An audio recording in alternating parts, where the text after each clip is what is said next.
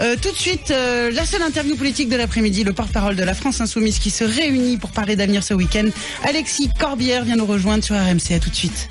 RMC, M comme Maïtena. Bonjour Alexis Corbière. Un homme tout juste vivant. On s'est battu pendant des mois, 14 mois de campagne. Je pensais que la victoire était possible. Je suis un homme déchiré. Messieurs, nous pouvons le reconstruire. Nous en avons la possibilité technique. Et moi, vous savez, je suis pas... Ouais, je suis pas de bois. Hein. Il sera supérieur à ce qu'il était avant l'accident. Le plus fort, le plus rapide, en un mot, Après avoir indiqué que nous allons désormais supprimer la réserve parlementaire, vous évoquez que nous allons supprimer la réserve ministérielle. Mais madame, allez jusqu'au bout. Abrogeons la réserve présidentielle, sans quoi ce que vous avez dit tout à l'heure n'a aucun sens. Maïtena Biraba. Bonjour Alexis Corbière. Bonjour, c'est sympa ce que vous avez fait. C'est pas mal, ça vous plaît? Je suis content d'être venu. Voilà, bah soyez le bienvenu. Vous êtes député de la France Insoumise.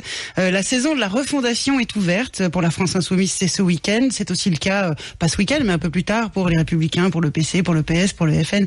Mais qu'est-ce qui s'est passé pour que tout le monde refonde comme ça? Nous, on fonde pas, c'est un moment d'étape. Ouais. Euh, Nous, on a la particularité d'être un mouvement qui est né le 10 février 2016, quand Jean-Luc Mélenchon avait proposé sa candidature à l'élection présidentielle. On avait lancé ce mouvement avec un, un site qui s'appelait La France Insoumise. Aujourd'hui, il y a plus de 500 000 personnes qui, qui s'inscrivent là-dedans. Et là, on fait une étape, c'est-à-dire que et je vais vous dire une chose, hein, c'est marrant parce que je crois que je l'évoquais dans les petits extraits. On est dans une cavalcade depuis euh, un an et demi de campagne totalement dingue. Oui. Une présidentielle, on enchaîne à une législative. Une fois qu'on est élu, j'ai eu l'honneur moi avec euh, Jean-Luc et, et 17, on est 17 élus, euh, de découvrir le, le métier de parlementaire, plein d'autres Et vous êtes actif Une rentrée parlementaire où parfois on était un peu malmené. Ouais. Donc on Oh, vous avez malmené en retour aussi. Hein, non, non, mais je veux dire, bon, Oui, bref, oui. tout ça, c'est, normal, c'est. Et on se retrouve là, on a, on a besoin un peu de faire le point on en est, avec, en essayant de faire vivre un mouvement euh, un citoyen un peu particulier qui s'appelle la France Insoumise, Alors- et qui, franchement, se porte bien, même si Alors, j'aurais attendez. préféré que Jean-Luc Mélenchon soit président de la République, mais c'est bah, la vie, hein, on a sait à nos- quelques voix près. Voilà, n'est-ce pas? Alors la France Insoumise, un mouvement évolutif, populaire, culturel, solidaire et bienveillant. On dirait la MJC, la Maison des Jeunes et de la Culture de mon enfance. Ben pourquoi pas? C'est Hein? un mouvement culturel. Non, mais moi j'accepte l'idée. C'est-à-dire que vous, comme moi, euh, sans doute qu'il y a des choses très fortes et des convictions qui nous sont nées dans un rapport un peu culturel, c'est-à-dire euh, vis-à-vis des, des choses euh, dans euh, les bandes d'amis qu'on a pu créer, les, les goûts musicaux, etc.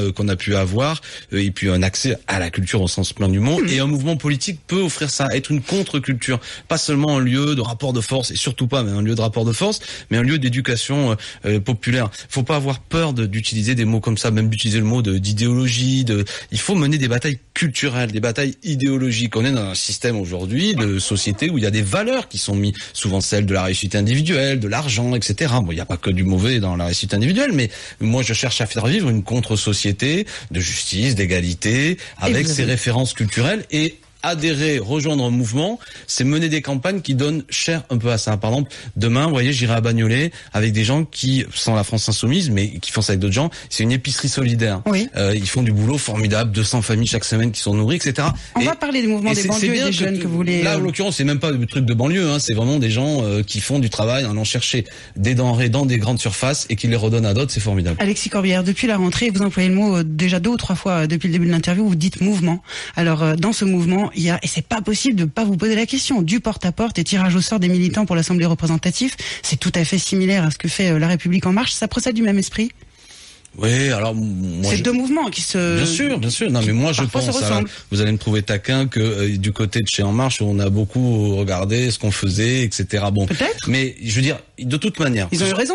Oui, parce que je crois il y a eu un événement pour ceux qui aiment la politique. Votre émission, vous, vous êtes aussi une intervieweuse politique, mais euh, il y a quand même un événement qui a eu lieu lors de cette élection présidentielle qui est sans précédent. Il y a un tournant qui a eu lieu. Il y a des forces politiques traditionnelles qui ont explosé. C'était ma première Et question. il y a- non, mais il y a des choses nouvelles qui ont émergé. En Marche a émergé. Ouais. Euh, Macron, moi, Et c'est bien Bah c'est, il faut l'observer qu'aujourd'hui des vieilles organisations politiques ont explosé et des nouveaux trucs apparaissent. C'est ça le- la France de 2017 quand on aime la politique, celle où il y a des énormes potentialités. Ce qui fait que je ne passe pas pour un barjot quand je dis à ce micro, ben moi je travaille à ce que peut-être pourquoi pas en 2022 on prenne le pouvoir. Mais- Certains peuvent rigoler, mais euh, Vous la preuve c'est préférez que avoir ce nouveau mouvement en face de vous que ces anciens partis euh, dont vous avez fait le tour Non, oui, non, c'est surtout. Bon, après Macron, ce qu'il fait, c'est je suis un adversaire. Je hein, parle de la que- République en marche. Oui, non, mais je veux dire, euh, il le fait avec cet outil. Il suffit pas de l'outil pour faire de la bonne politique. Mm. Mais ce que ça démontre, c'est qu'il y a plus ces vieux appareils qui verrouillent les choses. Ils ont Mm. explosé. La droite, elle est mis le morceau, et le PS, les pauvres, ils savent plus où ils en sont. Bon, donc euh, je vois même cet après-midi, il y en a un qui rejoint encore euh, le gouvernement, si mes informations sont justes. Bon, bref, ils sont quoi face vos à informations? Qui aurait manifestement euh, des membres du groupe euh, député PS qui est en train de rejoindre dans le remaniement ministériel de, de Monsieur Macron. Vous auriez son nom parce que si vous avez le Ben, nom vous du aussi, vous remaniement l'avez, avant c'est, moi. c'est, euh, Olivier Dussault, je crois que Olivier. la presse a commencé déjà à faire entendre ce bruit-là. Bon, c'est pas, c'est un député, euh, mais il fait des choix. Mais ce que je veux démontrer par là, revenons à, à votre propos, c'est qu'il y a des choses nouvelles. Et, et ça, même un mouvement comme nous, qui a plein de défauts, hein, euh, la France Insoumise, c'est bon, ben, il est aujourd'hui au diapason de, de, de, ce, de cette aspiration à la société, de forger des choses Alors, vous le nouvelles, faites. de mouvements citoyens. Et c'est ça qui peut être majoritaire demain. Vous avez soumis euh, 30 propositions à consultation sur Internet euh, aux insoumis. On dit les insoumis, hein, on dit Ouais. pas les militants. Bon. Et enfin, on dit ce qu'on veut. hein, enfin, mais- mais bah, c'est- vous, vous dites comment Mais moi j'aime bien ce mot d'insoumis. Par Ok. contre, Ça, ça, c'est un truc qui fait que moi je connais des gens dans la rue, maintenant que je suis un peu connu, ils klaxonnent insoumis, ils lèvent Ah. le poing comme ça. Bon, c'est un mot nouveau qui veut tout et rien dire. Très et bien. qui est une attitude. ouais, non mais c'est une attitude. Vous-même vous êtes sans doute une insoumise par quand on vous casse m'arrive. pieds et quand vous résistez. Donc c'est c'est beau. Je veux Oui. dire, c'est quelque chose qui permet d'avoir quelque chose de Mais oui, commun beau. sans nécessairement une adhésion partidaire. Absolument. C'est une attitude Alors- de vie. J'invite chacun à ne pas se soumettre souvent à l'idéologie dominante et à la méchanceté de ce monde. Les insoumis ont eu à choisir parmi 30 propositions. Ils ont été combien à répondre à la consultation, vous le savez? Il y a eu 4000 contributions. 4000, ça écrites. suffit sur 500 000 Non, non, mais je parle de contributions écrites. Oui. Et franchement, à ce stade, je sais plus combien, mais il y a eu euh, beaucoup, beaucoup de monde qui ont participé. Alors samedi et dimanche, les militants, enfin les insoumis vont découvrir les trois propositions retenues pour 2018. Vous les connaissez vous? Vous savez la Non, non, tendance? Non, non. Alors j'insiste sur une chose, vraiment, hein, c'est pas de la langue de bois. Et vous avez, j'ai un de mes amis qui, s'appelle- qui s'appelle Manu Bompard, qui est un Mhm. des animateurs de, de la France Insoumise, Charlotte Girard, etc. Moi, je suis député Ouais. et le groupe parlementaire, c'est pas la direction de la France Insoumise. Et déjà parce qu'on est surchargé de boulot, Ouais. donc euh, c'est voilà, vous avez peut-être plus le temps, mais invitez ces, ces gens-là, qui sont des gens fantastiques, qui animeront et continueront à animer. euh, D'ailleurs, Manu Bompard que j'évoque est celui qui dirigeait la campagne de Jean-Luc Mélenchon. Mm. Donc c'est eux qui sont dans les coulisses de tout ça, les cuistots, j'ai envie de dire, qui font euh, la. Aux Moi, je suis que ça. en vitrine pour faire joli, mais il y a des gens qui bossent, qui font le vrai boulot. Quoi. Alors on attendra samedi et dimanche. Jean-Luc Mélenchon, Mélenchon est soucieux de ne pas être décrit comme euh, le chef, euh, mais il reste quand même le leader charismatique, au caractère emporté, parfois trop.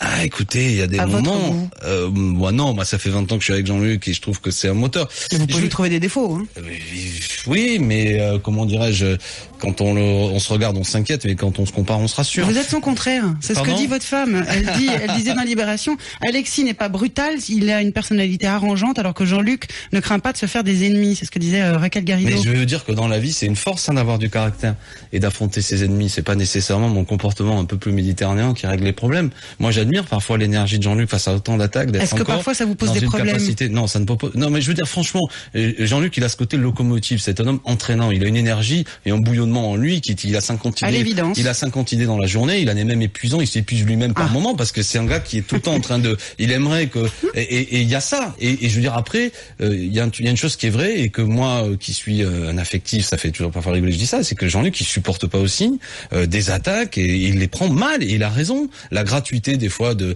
Et bon, ça lui arrive de répondre et plus que ça. Et il lui arrive d'attaquer gratuitement aussi C'est non, le jeu Bah, discutons-en. Moi, j'ai pas vu. Non, je vous pose la euh, question. Non, non, non, franchement, non. Je veux dire, j'ai vu Jean-Luc, il a un côté Cyrano, c'est bretteur, il monte sur la, la- il, a, il abdique pas l'honneur d'être une cible, comme dit, vous savez, cette magnifique pièce de Edmond Rostand. Il a ce côté, euh, et il va se battre à un contre 100. Mais bon, je- moi, je trouve ça formidable. Est-ce que, ce que moi, j'ai aucun problème. J'en ai marre de ces trucs. De Jean-Luc, pour moi, a été une source d'inspiration. J'ai même dit une fois, j'étais invité chez Laurent Ruquier, j'avais dit c'est un maître dans le sens Mhm. où c'est pas que je sois son disciple, mais je veux dire c'est un homme qui malgré tout, euh, on est toute une génération comme ça politique qui, qui nous a apporté. Moi, c'est un mec qui m'a mis des bouquins entre les mains, qui m'a appris des choses, et qui j'ai beaucoup discuté, qui m'a fait évoluer, qui m'a donné le goût. Et Il vous prépare à la suite ou pas? On a le sentiment qu'il prépare à la suite. Est-ce que vous le préparez ensemble? Il a parlé de transition du mouvement et de transmission Ah ben, a- euh, a sur une- BFM avec Rutel Kriel. Oui, oui, mais il y a une transmission à assurer d'une nouvelle Vous vous y génération. préparez là? Euh, collectivement, oui, indiscutablement. Et mais vous moi, en vous savez, moi j'ai 49 ans, donc euh, Bah, la, suite, jeune. la suite, elle peut ne pas passer Hmm. par moi nécessairement. Euh, Mais, mais c'est donc, mais évidemment, je vous évoquais les noms, euh, que ce soit un homme comme Manu Bompard, il a même pas 30 ans. Non, mais vous d'autres, Il y, a, mais- il y a Adrien Quatennens, Hugo Bernalicis, mes deux amis députés du Nord, ils ont 27 ans. Oui, c'est 27 ans, ça pourrait être. non mais je trouve ça formidable de voir Mathilde Panot, qui est une copine députée du Val-de-Marne. On a des Si jeunes. c'est une copine, on lui dit bonjour. Non mais je, je les cite entend. pour dire que Oui, sais. Mélenchon, la France insoumise, c'est pas Mélenchon et son vieux pote Corbière, c'est vraiment autre chose. On entend parler d'une l'ouverture d'une nouvelle séquence sans polémique et sans buzz. Vous confirmez? Bon, on a toujours voulu ça. Après, souvent, Ouais, les, pas les polémiques et les buzz, on les prend dans la figure. Alors, Je on vous a vu- alors, je vous pose la question Je autrement. vous assure que moi, je ne, je, je, je, les buzz, ce qu'il y a de, de, de gonflant, si vous me permettez l'expression, c'est quand ça vole du temps de Mhm. parole sur le, là, actuellement, par hier soir jusqu'à une heure du mat, il y a le débat sur les ordonnances. Le, on reprend- Ils sont en train de s'en prendre au code du travail, ceux qui Vous m'écoutent. avez hein. remarqué que c'est pas le cas ici? Non, non, non, mais je, en plus, on dit, ce que je veux vous dire, c'est que moi, ça m'est arrivé dernièrement, y compris, je l'ai, je l'ai subi quelques fois, c'est-à-dire que tu fais une émission sur 12 minutes d'interview, t'en Ouais. as 7 à 8 minutes qui est bouffé sur des petites histoires et tu peux pas parler. Du budget qui est injuste. Bah, oui, Parfois. enfin, moi, parfois, je trouve que ça, je trouve que parfois, elle ne mérite Alors pas. parlons d'ap- de- d'une nouvelle séquence sans polémique. On a vu Jean-Luc Mélenchon euh, avoir un dialogue qu'on peut qualifier franchement d'agréable avec le Premier ministre Ah ouais Édouard Philippe euh, sur France 2 dans l'émission politique. Avant-hier, il est ressorti content de son rendez-vous à l'Élysée en vantant, je cite, le plaisir de la conversation d'un président ayant, je cite, la qualité de ne pas fuir le débat. Ça doit vous reposer ça un peu. Bah, vous avez bien noté Ça que, vous repose ou pas euh, Oui, mais déjà. Hein, ça vous repose Non, vous avez Un Jean-Luc Mélenchon en comme ça. creux, En creux. En creux, ça vous- repose. en- oui, mais en creux, quand euh, Jean-Luc Mélenchon dit cela du président Emmanuel Macron, il, il caractérise aussi son prédécesseur. Ah oui, j'ai bien compris, Vous ça s'adresse compris. à François Hollande. C'est-à-dire qu'au moins, fait- avec Emmanuel Macron, on a un homme qui est agile d'esprit, qui est un homme de conviction, Ouais. et qui, en plus, est assez franc du collier. voilà. Et je veux dire, c'est un adversaire agréable. politique. Bah oui, c'est agréable. Je veux dire, moi, je prends plaisir à discuter avec vous, avec d'autres. Bon, c'est franc, on se dit des choses. Moi, je demande pas. Ce serait terrible une société où on soit tous d'accord. Moi, Mais je oui. suis un homme de, de conviction et j'adore euh, la confrontation politique avec des gens qui sont pas d'accord avec moi. On se frotte, on s'engueule, mais bon sang, si le jour on ne fait plus ça, c'est c'est terminé. Ce qui est intéressant avec un homme comme Macron, c'est que c'est un homme qui est, une fois de plus, agile, je l'ai dit, intelligent. Bon, ça veut et Jean-Luc le note. Sinon, alors, qu'est-ce qu'on va dire? Parce qu'on est pas d'accord, on va en permanence. euh, C'est pas une opposition stérile. Alors, Enfin, on non, est dans l'opposition frontale, mais Oui, euh, en observant que l'adversaire, il a un certain, une certaine épaisseur. Vous voulez vous Après, C'est un homme adresser- de droite hein, qui veut faire du mal au pays. Hein.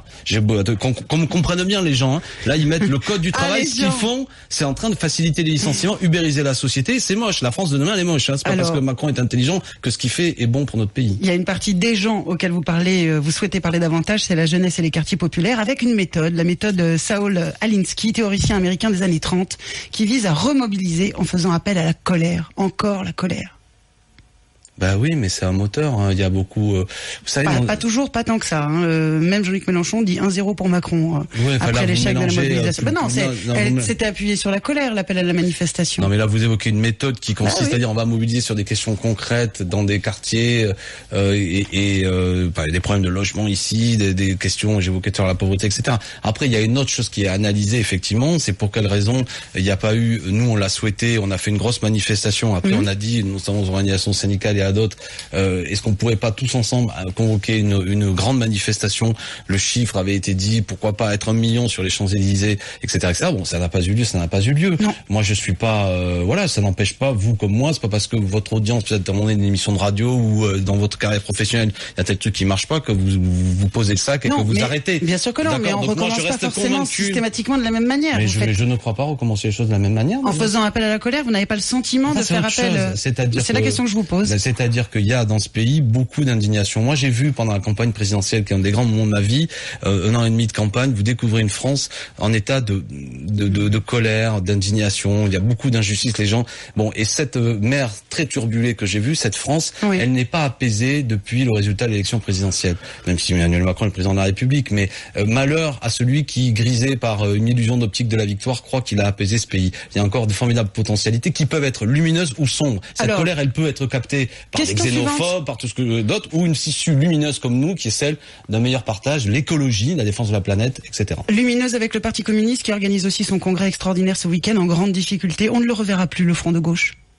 Bah, c'est-à-dire que le Front de gauche c'était une alliance de partis, non, c'est plus comme ça qu'on veut faire les choses, mais on peut se ça. retrouver ponctuellement sur des tas de trucs.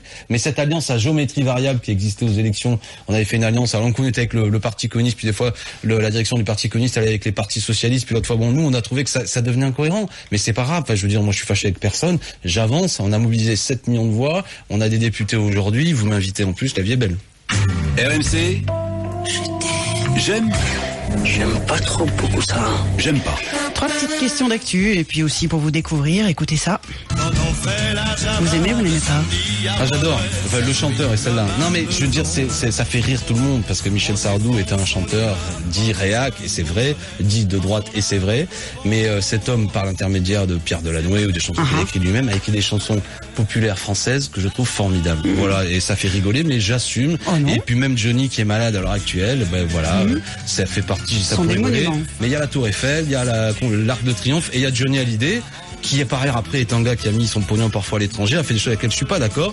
Mais c'est des grands chanteurs populaires, merde. Et, et ça, il faut le comprendre. C'est pas, ça tombe pas sur n'importe qui. C'est des gens qui ont du talent. Est-ce que, euh, puisqu'on parle de chansons, euh, vous aimez aussi Joe Star qui ce matin euh, sur France Inter disait c'est quoi la gauche Comment il s'appelle L'autre qui se prend pour Georges Marchais, là il me fait peur parce que c'est quelqu'un qui ne pense qu'à sa gueule, j'en suis persuadé.